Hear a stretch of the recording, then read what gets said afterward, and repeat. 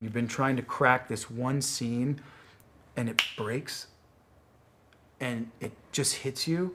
You see it, you see the cut, you see it with music and effects, and you just go, wow,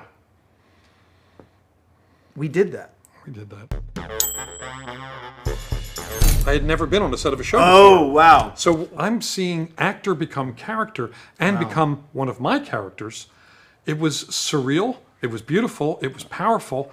And I walked out of there with a deeper understanding of, of what it is you guys do. We saw things last night. Things we'll, we'll never forget. But there's something bigger going on here, okay? Not just for us, but for everyone. I don't care about everyone right now. Just us. One of the things I was using for that scene in the work was when someone tells you that you're an unsafe or unfit parent to be with your own kid.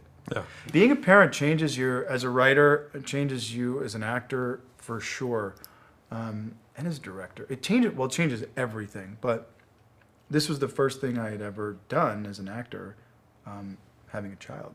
Because you're playing a father and you are a father. Yeah. And that was coming through really powerfully. Well, thanks, man. You ought to consider this acting thing as a career, man. I heard you're good at craft services, though. I, I, I like craft services.